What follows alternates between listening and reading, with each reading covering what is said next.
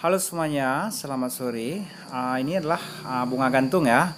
Jadi yang ingin saya kasih tahu adalah uh, macam mana caranya kita menanam bunga gantung uh, di dalam pot seperti ini. Cuman kalau dalam video ini ini belum digantung ya, karena uh, baru saya tanam ya. Ini belum banyak ataupun belum penuh pertumbuhannya. Ini adalah uh, salah satu bunga gantung yang tahan terhadap uh, pancaran ataupun paparan daripada sinar matahari dari pagi sampai ke sore hari.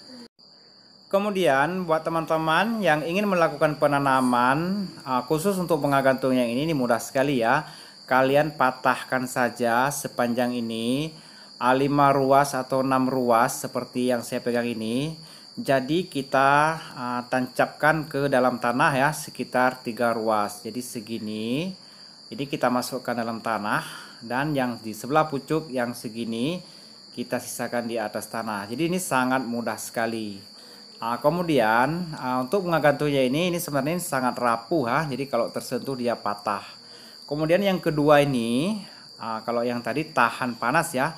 Dan yang kedua yang ini ini merupakan bunga gantung yang tidak tahan terhadap paparan sinar matahari. Jadi kalau bunga gantung yang kedua yang ini ini silakan kalian tanam di bawah pohon, terlindung dengan pohon ataupun di bawah jaring paranet ataupun di bawah teras rumah kalian.